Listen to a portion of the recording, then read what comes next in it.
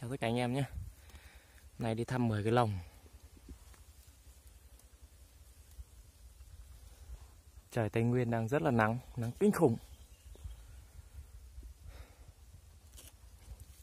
Đây có một cái lồng Bụi gai này. Không biết có gì không?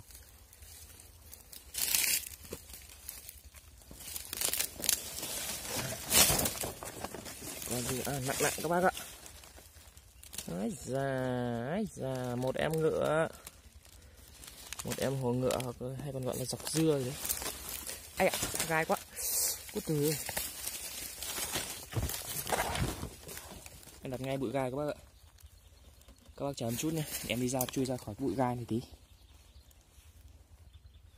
Một mình quay nên hơi vất vả các bác ạ.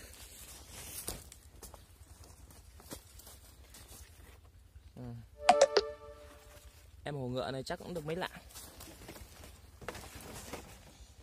Nay hết chuột rồi Nên là Dính lồng nào là mang lồng đấy về thôi,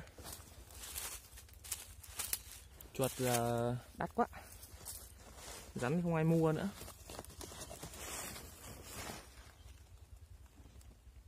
Ô con hồ ngựa này bé tí.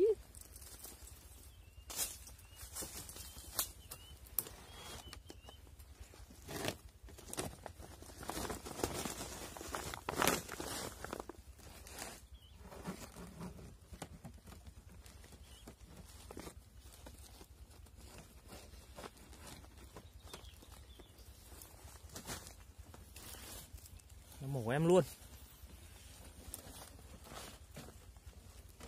Dài ghê.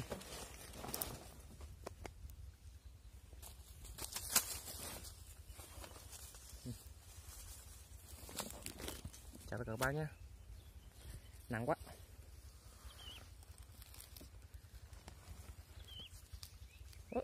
Hùng lắm. Hùng cực kỳ luôn á. Uh, chân nó ỉa. Uh, chà chà chà chà.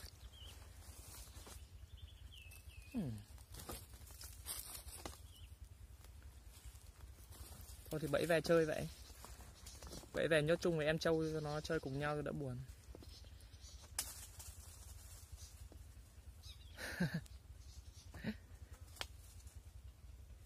Đó. Ai mà không biết gì về rắn nhìn loài này thì thôi, Nó mổ khiếp lắm. Thôi, để đi thăm bẫy khác, Giờ vứt vô túi đã.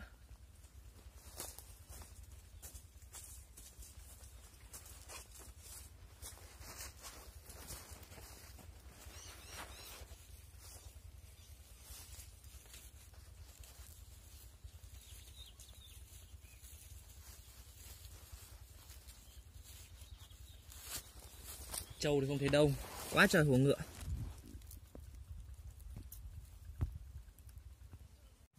Chán quá các bạn. Đi thăm hơn chục cái lồng mà mất hết. May gì như một em ngựa thôi.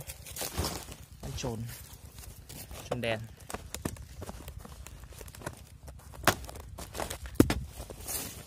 Ai à, to phết nặng phết. À em này thì được ký hơn ký ui, chà chà chà, to. Ui, chà chà chà. Ui, chà, to. To gươm thiệt. Con này như lại con đực rồi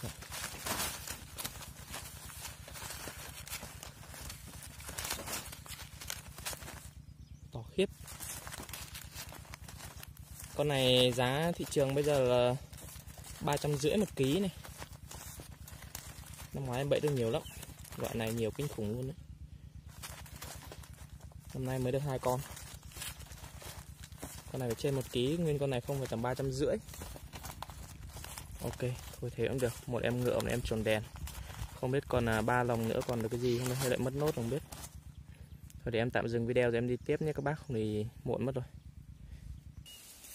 Đúng là nói thật với các bác là nếu mà mình quay đây gọi là úp lên youtube cho anh em xem.